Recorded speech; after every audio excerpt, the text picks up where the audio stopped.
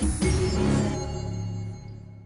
It was developed as a series um, with the intention of moving onward. I mean, one thing we, wanted though to feel like a big movie where the you know more or less it's sort of tied up at the end. That's not like Will is still missing at the end of the season because I get so frustrated when things do that. So. Um, and, and then we wanted to, you know, raise some questions in terms of is Will okay, so whatever. So we're treating it a lot like a movie sequel, and then in that sense, we wanted to up the stakes a little bit. We don't have the element of surprise on our side this year, you know what I mean? And so, in order to counteract that, it's like you know we we, we learned a lot making the show last year, um, and you we were figuring a lot of stuff out. We were learning our actors, our actors were learning, everybody was learning, and so this year I think everybody really brought it, um, and I think it's better.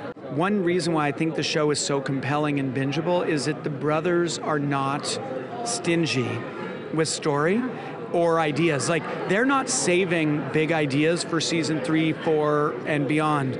If they think it would be cool now, then that's the story we're telling now, and we're gonna figure out next season next. And it's why we use some restraint, but in general, we're going to tell the stories that seem cool to us now, and that's a lot of story. Look, there's Empire, there's Aliens. There's a way. To, there's a way to sort of take what worked and then build upon that yeah. and create something that's a little bit, you know, it's new and different, but it still has the heart of the original.